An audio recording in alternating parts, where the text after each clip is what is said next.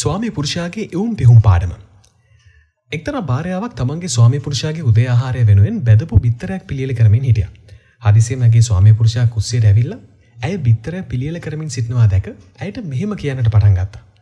ඕ පරිස්සමින් ඕකට තව තෙල්ටිකක් දාන්න. වා එක පාරකට ඕනවට වඩා උයනවා. ඒක දැන් අනි පැත්හරවන්න. දැන් අනි පැත්හරවන්න. තව තෙල්ටිකක් දැම්මන හරි. අයෝ දේනවා කුච්චරනම් තෙල් නාස්සි කරනවාද.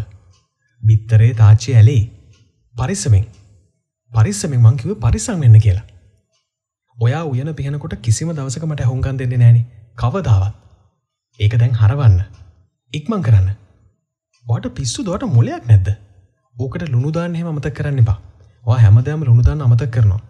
ලුණුදාන්න ලුණු ලුණු ලුණුදාන්න. ස්වාමය නොනවත්වාම මේ විදියට කෑග සද්දි බිරිඳ ඔහුදෙස ඉතාම කෝපෙන් බලා වාට මොකද වෙලා තියෙන්නේ. වාහිතන මට බිත්තරයක් බැතගන්න බෑ කියලද. පිස්සු හැදීගෙන දෙන්නවාට මේ විදියට කෝපයෙන් විමසවා. එවිට ස්වාමයා ඉතාම සංසුන්න මේ විදියට උත්තර දුන්නා.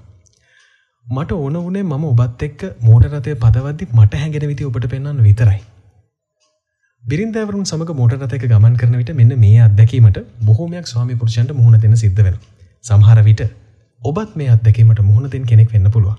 ඒ ගැන රසවත් තොරතුරු අපිත් එක බෙදාගන්න. අපි තවත් දවසක මේ විදිහම වීඩියෝ එකකින් ඉක්මනින් ඔබ මුණ ගැහෙනවා. එතෙක් රැඳිලා ඉන්න දෙකටම අපිත් එක්ක. ඔබට සුබ දවසක්.